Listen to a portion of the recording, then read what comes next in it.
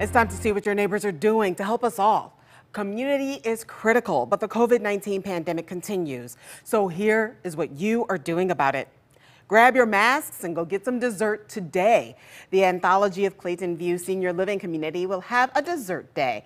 You can learn about the community and the treats from the culinary team. Dessert Day is this afternoon from 4 until 6. It will be at the Anthology of Clayton View. That's at 8825 Eager Road in Richmond Heights. You will need to wear a mask to enter this event. It is a food fight against breast cancer. Scooter's Coffee offers courage cookies during this Breast Cancer Awareness Month. The chain will give 20% of sales to the Pink Agenda. That agency raises research money and offers services to breast cancer warriors. A special thank you to our guests this week, Kim and Kevin Schwartz.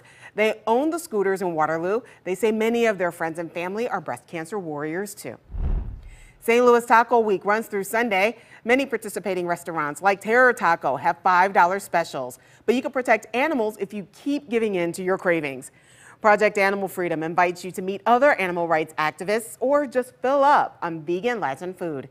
Tower Tacos will host Vegan Taco Night. It will be Wednesday, October 19th from 6 until 8. Tower Tacos is at 3191 South Grand between Wyoming and Connecticut.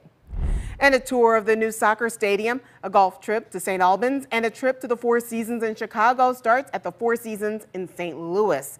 The Little Bit Foundation is raffling off all these experiences and more.